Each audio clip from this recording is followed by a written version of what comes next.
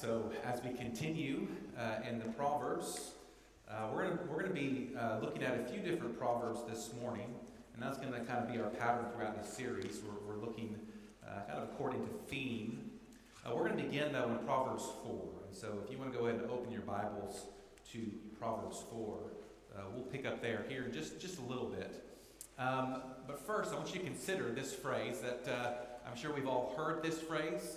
Maybe you've even uttered this phrase before, and that is follow your heart. Raise your hand if you've heard that phrase before, maybe even said it. Follow your heart. It's in movies, it's in songs, uh, it's, it's kind of just a part of our culture.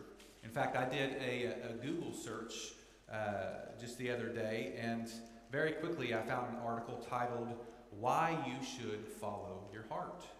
Just let me read to you the, the opening paragraph of this article. It says, It's never too late to follow your heart and start something you've always wanted to do. It doesn't matter what you think is holding you back. Let's just call them what they are excuses. It shouldn't matter if other people are doing it already or if nobody is doing it. The only question that matters is whether or not doing it would make you happy. Do not follow your heart and live. Uh, do you follow your heart and live the life that you want? Everyone has a different personality and is drawn to different things. And the more you allow yourself to pursue those things and follow your heart, the happier your life will be.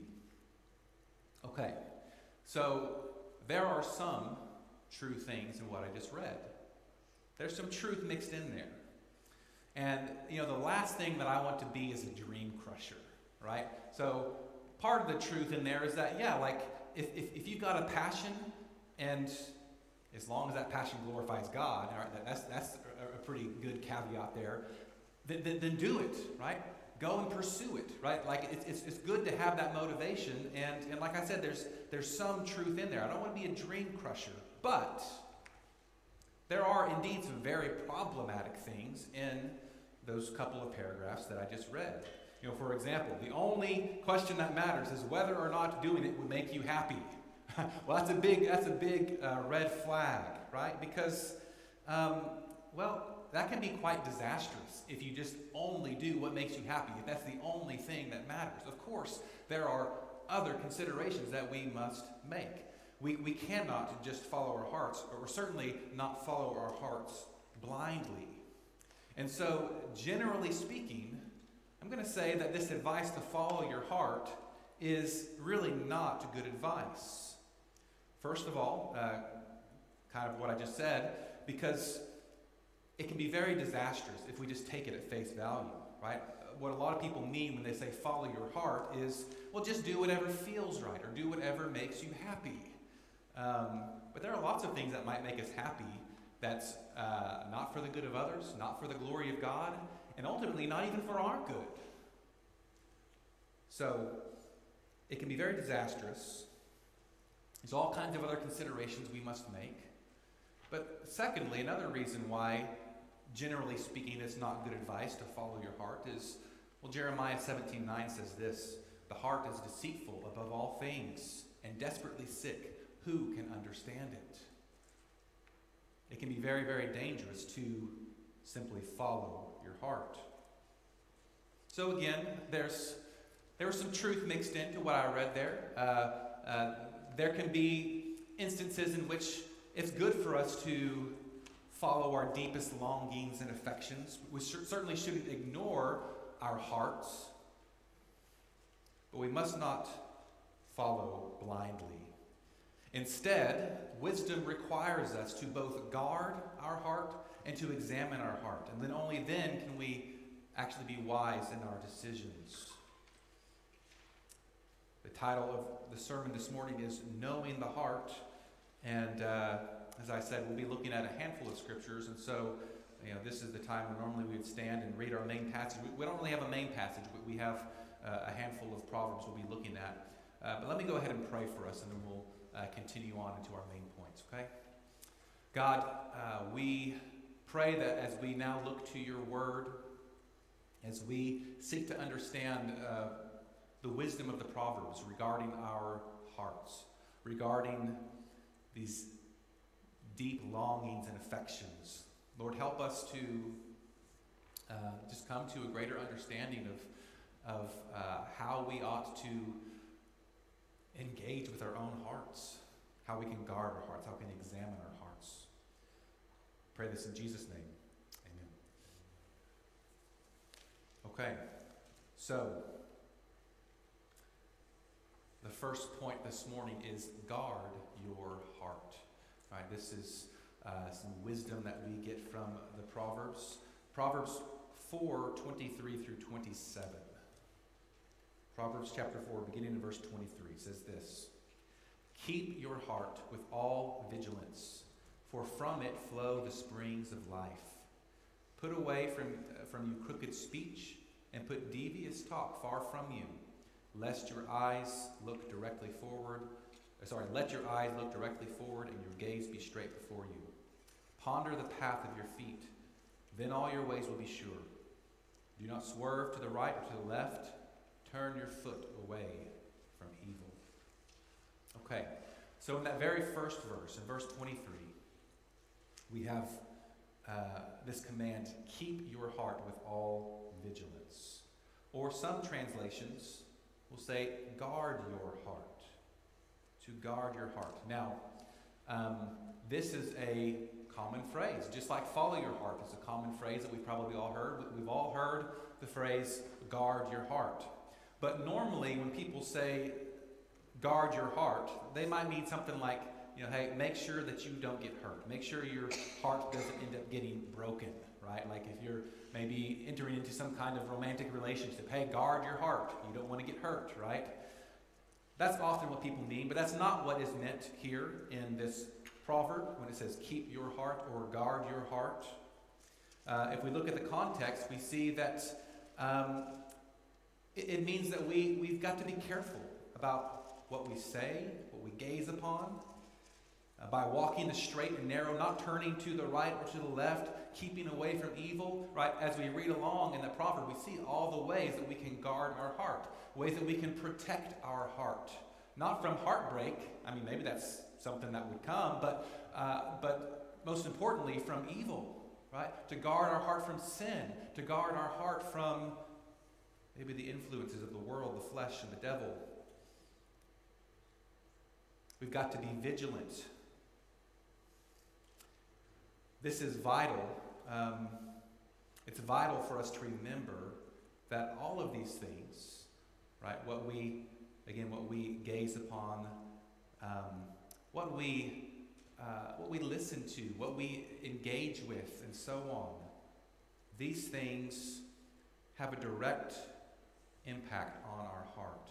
That is the very core of our being, our deepest longings and affections. And so, in this proverb, when it says, guard your heart, it's saying, hey, be careful about your conversations. Be careful as you're mindlessly scrolling on your phone. Be careful what you read, what you watch, uh, the music, the podcasts you listen to, and so on, right? These are ways that we guard our heart by not just letting anything and everything come in. Because, again, these things will have some impact, a direct impact on us. I think we must understand that, that nothing is neutral. Right? Sometimes we might think, oh, you know, I'm just passing time, or, uh, oh, this isn't a big deal. But the fact is, every, everything that we take in, everything that we engage with in, in our day to day lives, is really kind of putting us on one path or another. Right? The path of wisdom, the path towards Christ likeness, the, the, the path that's going to be for God's glory and for our good on one hand, or maybe it's putting us on the path of, of, of foolishness and of selfishness and and a path that ultimately is not going to be for God's glory or for our good or for the good of others. Right? And so, and so, so everything is kind of pointing us one way or the other. I think it's so important that we recognize that there's, there's, not, there's not any neutral ground here. Right? Everything is subtly or sometimes quite drastically affecting our heart. And so that's why we have this command, this proverb to, to keep our heart, to guard our heart with all vigilance. And then notice again, look at verse 23. Keep your heart with all vigilance, for from it flows the spring, the springs of life. From it flows the springs of life. Well, that is if you guard it. But if you don't guard it, well, it might be more like sewage, right? In fact, do you remember what Jesus says? He says, out of the overflow of the heart, the mouth speaks. So, of course, one reason why we ought to guard our hearts, we guard what comes in, we guard all these things, because sooner or later it's going to affect what comes out. Right? It's going to affect our speech, for example. Um,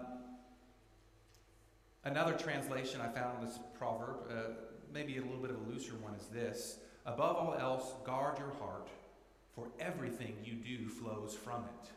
Which that sounds a lot like what Jesus said, right? Out of the overflow of the heart, the mouth speaks. Everything you do, everything you say, is going to be flowing from the heart. And so sooner or later, your true colors will show through. Everybody know what a Freudian slip is? Kids, I'll, te- I'll teach you. This is a fancy word, okay? A Freudian slip. So it's named after this psychologist from way back in the day. But, but a Freudian slip is have you ever said something by accident? I mean, this might be kind of similar to what we were just talking about a moment ago. Um, maybe you say something and you're like, oh, I can't believe I just said that. I shouldn't have said that. And maybe you think, okay, I didn't mean to say that. But sometimes it just comes out, right? That's not just with kids, that's with adults too, right? Sometimes something just comes out. And we think, oh, that just came out of nowhere. But no, it didn't come out of nowhere. It came from the depths of your heart, sometimes even maybe even parts of your heart that you don't know about. And so it doesn't just come out of nowhere. So, sooner or later, those deeper, darker parts of our hearts will be exposed in one way or another. But it's not always immediate. It's not always immediate because, of course, the world is full of hypocrites, and Scripture talks about this as well, right?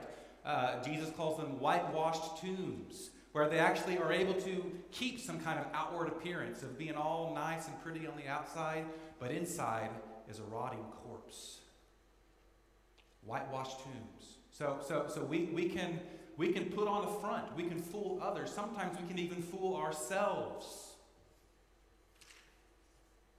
Sooner or later, it's going to come out to some extent, in one way or another. But again, it's not, it's not always immediate. And so um, this kind of leads to the next point. The next point is that we need to examine our heart. Examine, examine your heart. Because um, even if you can fool others, even if you can fool yourselves, the fact is we're all sinners and we have things in our hearts that we don't know about that we need to know about. And so you'll remember the verse I quoted earlier from Jeremiah 17 9. The heart is deceitful above all things and desperately sick. Who can understand it? Our hearts deceive us, right? We cannot even understand our own hearts, but we ought to try as best we can. And I'll get into this here in a moment, but of course, we need the Lord's help with that. Well, in fact, that's why David prayed in Psalm 139, verses 23 through 24. He says, Search me, O God, and know my heart. Try me and know my thoughts, and see if there's any grievous way in me, and lead me in the way everlasting. Okay, so this is the same psalm that I read from in our call to worship. And so I just read the very last verses of the psalm where he's pleading with God, Search me. And, and, and in a sense, he's, he's saying, Hey, uh, I want you to reveal to me uh, things in my heart that I don't even know about, and I want you to lead me into the way everlasting. Because we know that God does, in fact, know every thought, ev- everything we do, even before we do it. I mean, we see that at the beginning of the psalm. So, for example, Psalm 139, verse 1 Oh Lord, you have searched me and know me. You know when I sit down, when I rise up, you discern my thoughts from afar. God knows us better than we know ourselves. So I've labeled the second point examine your heart. And uh, that is indeed what Scripture calls us to do, right? Examine yourselves to see if you are in the faith, right? The Apostle Paul tells us that this is important even for Christians to say, hey, I need to look deep inside and make sure that I'm actually living in repentance and faith. Am I even really a Christian? Have you asked yourself that before?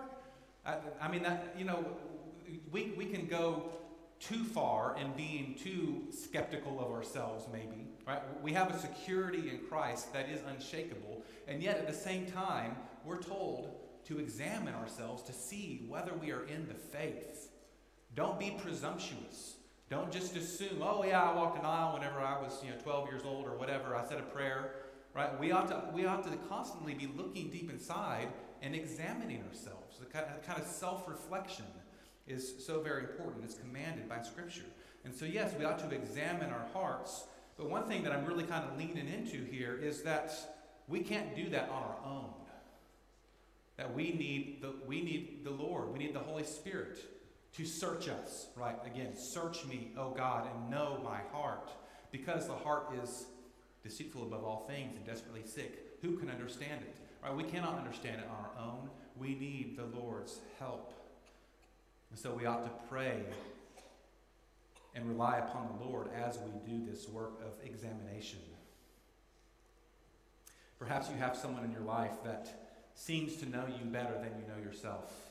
Uh, so oftentimes that's a spouse, right? And, and, and, so maybe, or maybe you said to your spouse, yeah, I know you better than you know yourself, right? You can maybe predict things that they're going to say or do or, or, or ways they're going to react to something. And so there's, there's some truth to that and how even another person might, in some respects, know someone better than they know themselves. But that only goes so far, right? Um,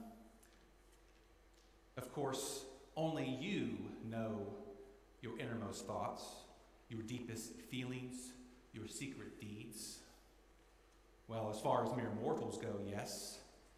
But God knows all these things and more.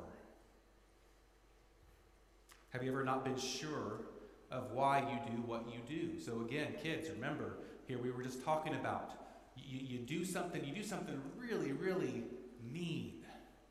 And then your parent asks you, why did you do that? Understand, kids, that happens to us as adults as well. Sometimes, you know, we might have that Freudian slip. We say something, I can't believe I said that. Or I can't believe I treated that person that way. Why did I do that? Why do we do the things that we do?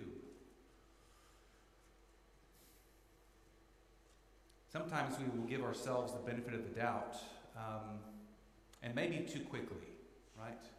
Now, of course, in some cases, maybe, may, maybe our motives aren't so tainted. I think our motives are always tainted by sin in one way or another. we're never perfect in anything that we do. Um, but oftentimes it's tainted uh, far more than we realize. So our proverb for this point is Proverbs 16:2, which says this: All the ways of a man are pure in his own eyes, but the Lord weighs the spirit. Or some translations there say, the Lord weighs our motives. Right? So all, all of the ways of a man are pure in his own eyes, right? Naturally, we think, okay, yeah, you know, I'm, I'm doing this or I'm saying this for good reason. This is what needs to be said. And, and, and I don't have any kind of selfish motives here. I'm you know, but the Lord weighs the heart. The Lord weighs the spirit. The Lord weighs the motives. The Lord knows. And uh, we ought to do our very best to know as well. And so we ought to pray like David did Search me, O God, and know my heart. Try me and know my thoughts. See if there is any grievous way in me, and lead me in the way everlasting. You know, the fact that God knows us better than we know ourselves can be the most frightening thing in the world or the most comforting thing in the world. It may be frightening for those who are bent on living in sin and don't have Jesus as their Savior because, you know, the fact is, well, if you have any self awareness at all, you know that you're a sinner. You know that you've done and said things that you shouldn't do or say. But to know that there's even a greater depth to that sin that only God knows, well, that can be a frightening thing if, if, if you are bent on living in that sin if you're not receiving Jesus as your Savior. Because, after all, He is the just and holy judge of the universe. And if He knows every little thing about you, that is frightening if it stops there, right? But the fact that God knows everything about us, it can also be the most comforting thing. That is, for those who will receive the love and forgiveness of Christ, just to think He knows more of my junk than I do, and yet He loves me and offers forgiveness through the cross. Like, I mean, you've probably heard people say in, in, uh, in the movies or maybe in real life, maybe you've said it before, oh, if you, if you only knew such and such about me, you know, you, you wouldn't want to have anything to do with me. Right? Maybe someone, you know, think like romantic comedy. Somebody has a shady past and they say, oh, if you only knew, if you only knew this about me. Well, I guess it's not much of a comedy, but, but if, if the fact is God knows everything about us, our deepest, darkest secrets, the deep, dark crevices of our heart that we don't even know about. And yet, He loves us. And He's willing to offer forgiveness. We must receive it. Right? We must, we must turn in repentance towards Christ and say, I surrender to you. I receive your love and forgiveness. And that's a beautiful, beautiful thing.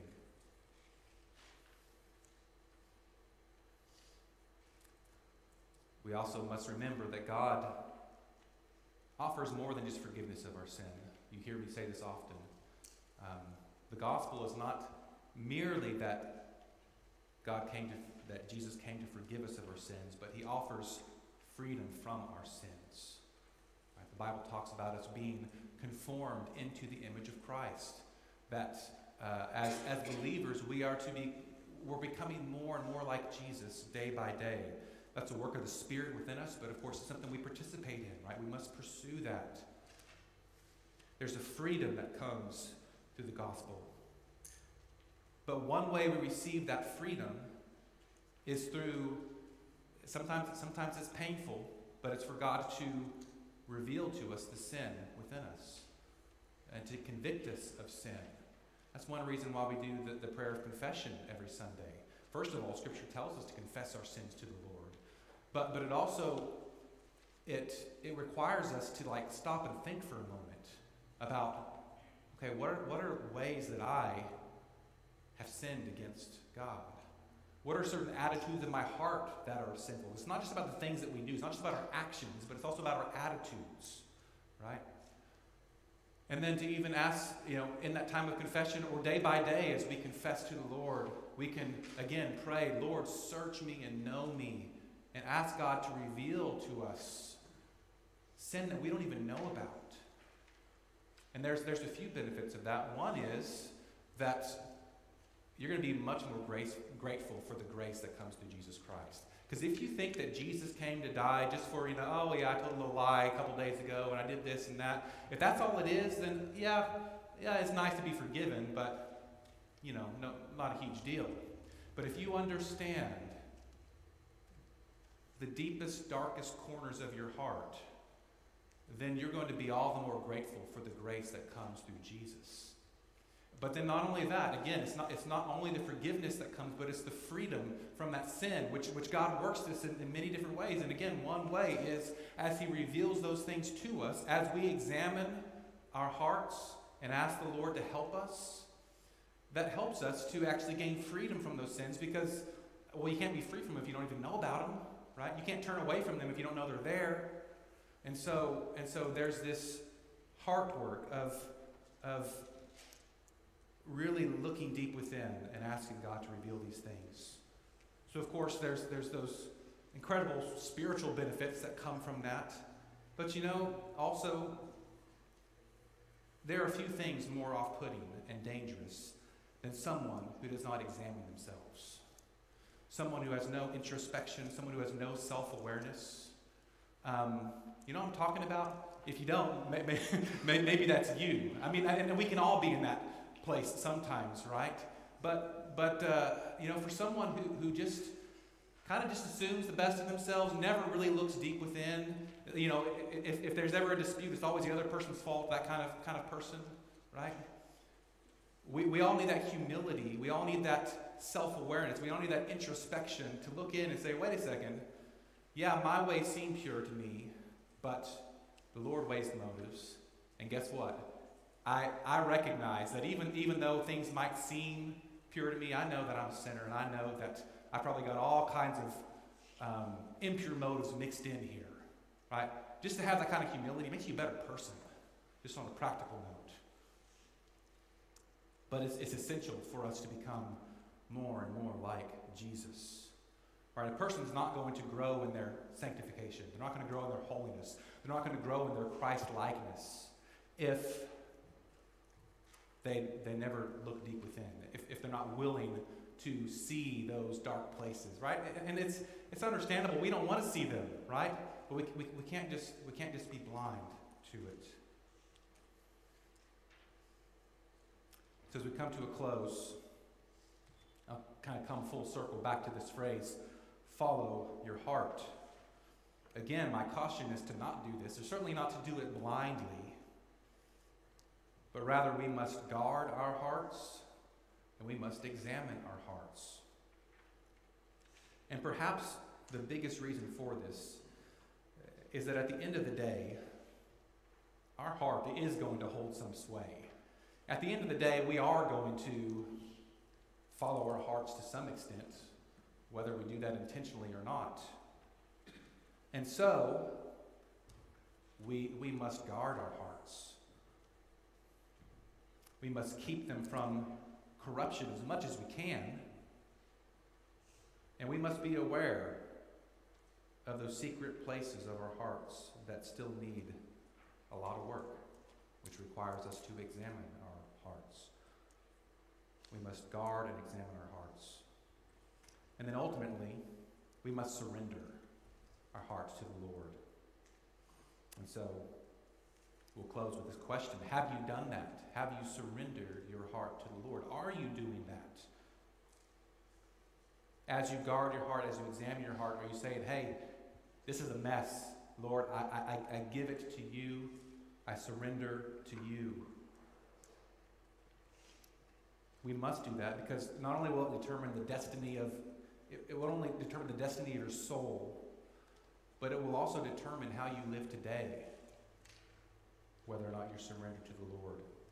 Let me read you this quote by Tim Keller. It says, What your heart most loves and trusts, the mind finds reasonable, the emotions find desirable, and the will finds doable. I'm going to read that one or two more times here in a second, but let, let, let, me just, let me just break it down, right? basically what he's saying here is what I said just a moment ago that really, like, we're going to follow our hearts, at least to some extent, whether we intend to or not. The heart is a powerful, powerful thing. That's why we must guard it. That's why we must examine it. We don't want to follow it blindly, but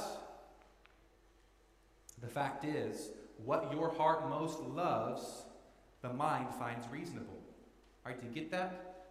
Right? We, we, we might think that we have full control of our hearts through our minds, but no, the emotions, the affections, is a powerful thing. And that's why God demands our heart, not just our mind, He wants our heart. Right? Because if our affections are somewhere else, then you know we can affirm all kinds of facts about the Lord and all that, but you know, ultimately, our heart's going to make things seem reasonable that maybe aren't so reasonable, right? What your heart most loves and trusts, the mind finds reasonable. The emotions find desirable, right? Whatever your heart loves and trusts, your emotions will find desirable. And then finally, the will finds doable. Right? If your heart's in it, then your will is going to find it doable. But if your heart's not in it, then you may say, oh, yeah, I want to do this, but you're not going to do it, right? So, so, so there's almost a little bit of a paradox here. On one hand, we're saying, okay, be careful. You don't want to follow your heart, certainly not blindly. But then the fact is, well, yeah, we're all going to follow our heart, at least to some extent. And that is precisely the reason why we must guard it and why we must examine it. And then finally, most importantly, we must surrender it to the Lord.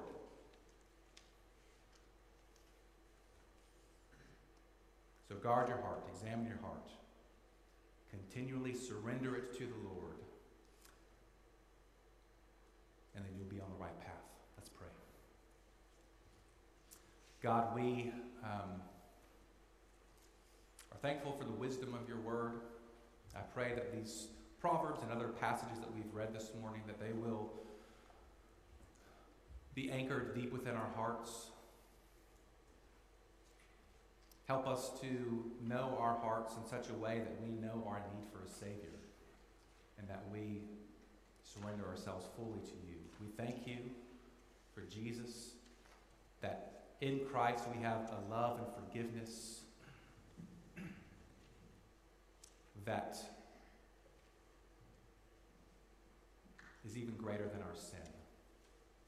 And so help us to embrace that, help us to be changed by it. We pray this in Jesus' name.